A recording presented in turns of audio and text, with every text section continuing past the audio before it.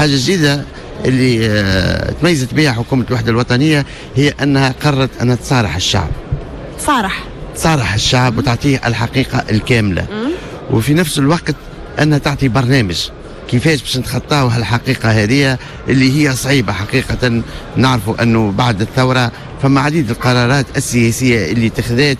ما نحبش نقول صحيحة ولا غلطة توا معناتها هذه ولات واقع. آه على الأقل بما يخصني أنا بعلاقة بالشركات الوطنية مثلا قرار دمج آه المناولة مثلا. هذه أضرت آه، برشا بالشركات الوطنية نتاعنا الكل تقريبا. تمست العفو التشريعي العام زيادات آه، آه، معناتها في الأجور اللي كانت معناتها.